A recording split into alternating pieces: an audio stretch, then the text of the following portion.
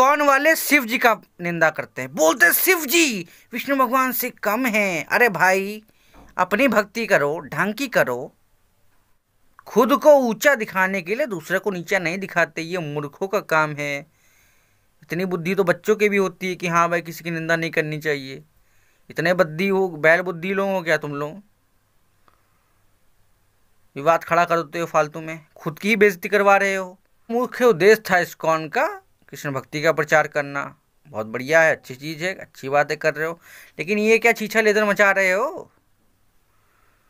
अरे भैया श्रीला श्रीला प्रभुपाद जी की बेइज्जती मत कराया करो तुम लोग। उन्होंने कहा था, जीवन का उद्देश्य अपने आत्मा की पवित्रता। कितने सारे ग्रंथ लिखे, लेकिन तुम लोग वही, ये गलत चीज़ है।